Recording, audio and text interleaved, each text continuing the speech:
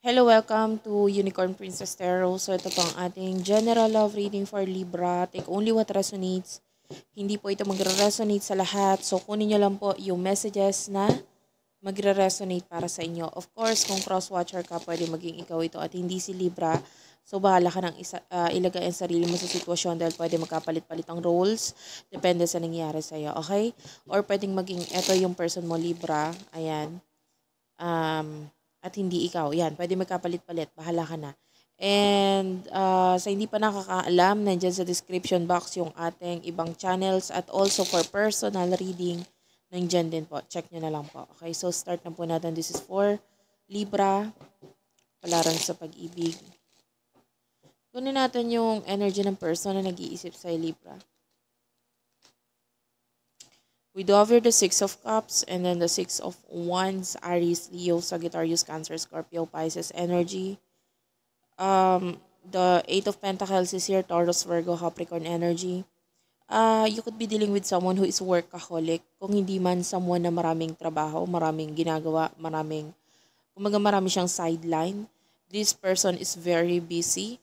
Nakakita tayo dito ng connection na possible na kayo ay may pagtutulungan dito nitong person na ito And I can see that uh, could lead into success kasi nakikita natin naging successful yung connection mo with your person. And then itong person na ito, maaaring nakikita niya na ma marami ka pang maitutulong sa kanya or marami pang partnership na mangyayari sa inyong dalawa. So, yeah, I, I do feel like may mga bagay lang na tinatapos itong person na ito for now. Pero this person is actually,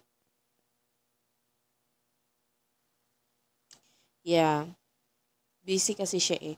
Kaya lang, regardless doon, na doon pa rin naman yung uh, willing siyang makipagtulungan sa'yo. Nandun yung willingness.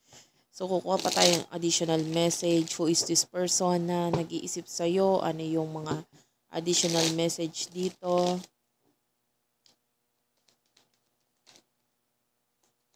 This person loves his or herself marunong siyang mag-alaga ng sarili niya. Nandun yung pagmamahal niya sa sarili niya. Nandun yung pag-aayos, pag, uh, could be dealing with someone na maybe, ano siya eh, pwedeng nag-gym or, you know, pwede rin namang hindi. But this person is really, ano siya, parang self-conscious. Ayan. Alam niya pag kailangan niya ng, um, kailangan niya ng mag-diet or kailangan niya ng mag mag-exercise, whatsoever. May ganong energy dito sa person nito. So, uh, medyo nagkakaroon lang ng priorities itong person ito with the Two of Pentacles, which is, kasi nga, busy siyang tao. And we do have here the Justice card, Libra energy. I feel like this person is hindi siya para magpahinga.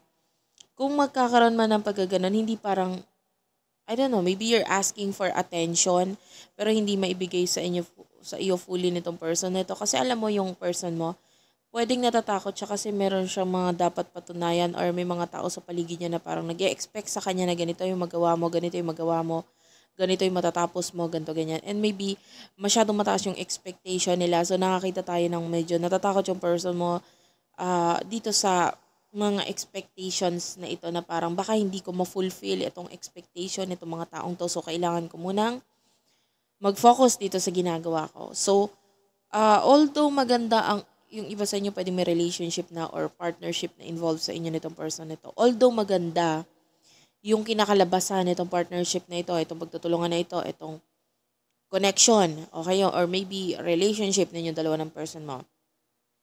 Or maybe friendship para sa iba. Kahit maganda yung flow niyan, may mga times pa rin talaga na hindi niya maisipan, na uh, hindi niya mawala sa isip niya na ay baka mag-fail, baka hindi maging okay medyo alanganin pa siya kasi hindi pa siya 100% sure kung anong kalalabasan. Okay, so, yeah. Medyo nag-overthink yung person mo and you could be dealing with the th- overthinker. Yung talagang isip ng isip ng isip ng isip. Ngayon, uh, kukuha naman tayo ng additional message sa deck na ito. Isha-shuffle ko lang. For Libra, please.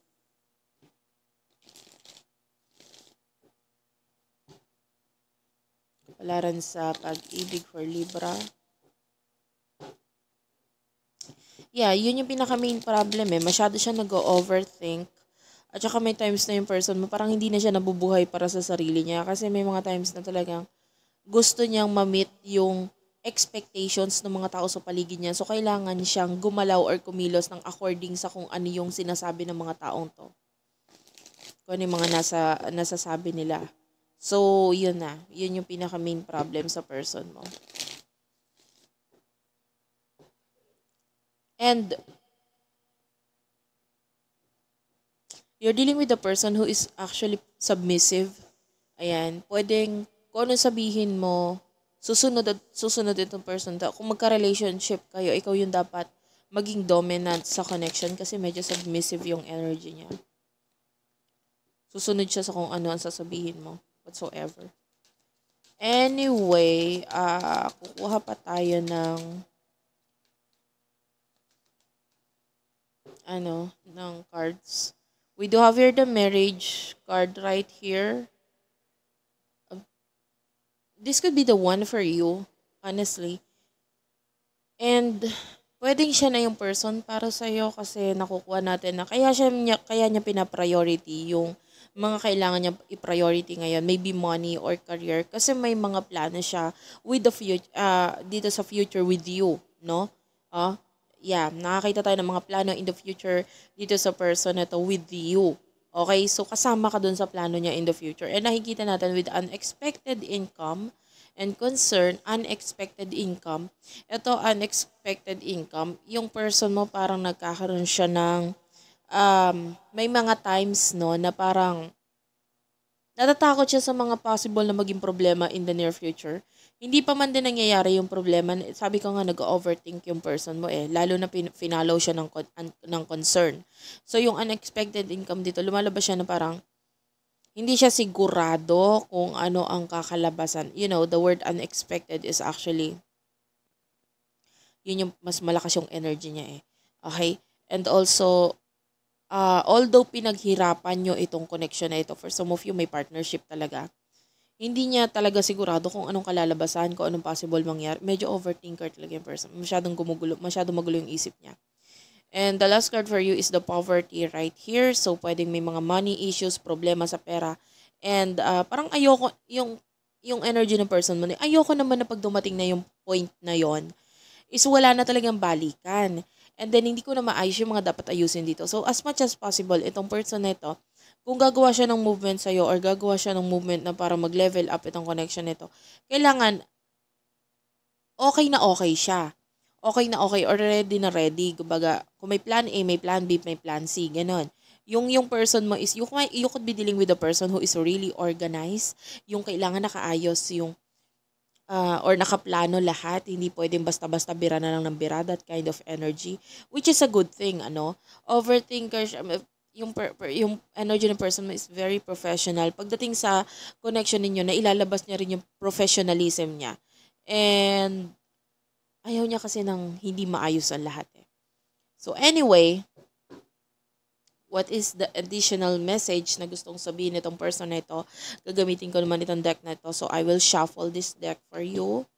For our Libra, ano yung additional message na gustong sabihin ng person na ito for you?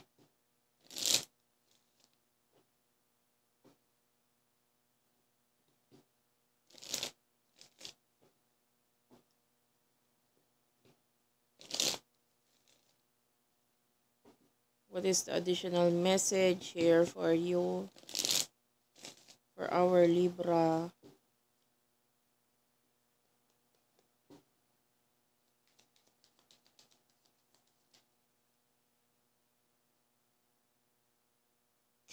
I knew exactly what I was doing. Okay? So, yung person mo, sa ngayon, kung, kung bakit niya ginagawa yung mga bagay na yan, pakiramdam niya kasi yan yung tama. Okay? So we do have here, I bury myself in work to forget you. So sabi ko nga sa iyo, sa ngayon kung siya ay nagpapakabisi, it's not, ito ha, never mind the message. Yung energies yung ipipik ko dito. Regardless of the message, kasi yung iba sa inyo, babasahin then kung ano yung nandito, is, it's not that. Okay, ito lang yung nakukuha nating energies. So nakikita natin, this person is like, kaya siya nag, nagpapakabisi kanina ko pa sinasabi it's it's not because to forget you no hindi yon um, as much as possible, gusto niyang mag-improve as a person, kahit wala ka pa, uh, improve na siya. Yung mapatunayan, sabi ko nga sa'yo, gusto niya mapatunayan, uh, mapatunayan itong sarili niya dito sa mga tao sa paligid niya. And also, we do have here, we both know I am not the one for you. Well, this is actually not your person's message, pero pwedeng yung mga tao din sa paligid niya, may nakikita tayo na parang hindi pa bore or hindi okay sa'yo, or hindi pa okay dito sa connection na ito. Like, kailangan mo munang, yeah, these people could be a father or mother figure. Parang sila yung nag-aalangan kasi, you know, I, I can see a lot of concern dito sa mga taong Okay, sorry about that. Naputol yung ating video. Okay. Anyway, so nakikita natin itong mga person na to, sila yung actually hindi pa handa for your person, kasi kaya naman niyang uh, makipag-partnership sa'yo, ayusin itong kung ano man yung, yung level up na nakikita natin dito na possible na mangyari siya. Kaya lang parang yung mga tao kasi sa paligid niya medyo nakaka-apekto sa kung way, sa way ng pag-iisip niya. So, yung iba hindi pa okay, hindi pa pabor, like maybe ayaw nila masyado ng mamadali. And uh, we do have here My life is not as together as it seems. So sabi ko nga, pwede nakikita niya magulo pa yung buhay niya, hindi pa okay yung buhay niya, hindi pa siya, financially, hindi pa siya okay. Financially, hindi pa siya okay. And uh, we do have here, I can't stop thinking about you. This person really do loves you. Nandun yung pagmamahal. It's just that overthinker talaga siya na I can't stop thinking about you. I can't stop thinking about the future. I can't stop thinking about what will happen next. Okay? And regarding the plano, So, yung person mo is really overthinking right now pagdating sa situation ninyong dalawa. And also, at the bottom of the deck, meron tayo ditong, I regret lying to you. Maybe, sinasabi niya sa'yo na okay lang siya, but the, the truth is, your person is not okay. Kasi sa totoo lang, marami pa nga siyang mga kailangan na i-improve sa sarili niya na gusto niyang ayusin, gusto niyang, alam mo, let your person be. For what I can see here, magulo pa siya and kung ipipilit ninyo yung mga bagay-bagay, medyo mahihirapan ka kasi hindi mo pwedeng ipilit yung person mo. Kailangan matutunan niya yung lesson sa buhay niya, sa sarili niya, na magawa niya yung mga uh, mga dapat niya tapusin muna. Okay? So, thank you for watching. Sana naka-resonate kayo. Please do like and subscribe to our channel, Unicorn Princess Terror, Madam PTV, Virgo Philippines, Tapit Hapon TV, Water Sign Philippines, Madam P Vlogs. I love you all guys again and bye-bye. And by the way, para sa mga gusto ng personal reading, nandiyan po sa uh, description box. I-click nyo lang po yan description box, yung arrow dyan pababa. Andyan yung details para sa ibang channels namin and also for personal reading. I love you all guys again and bye-bye.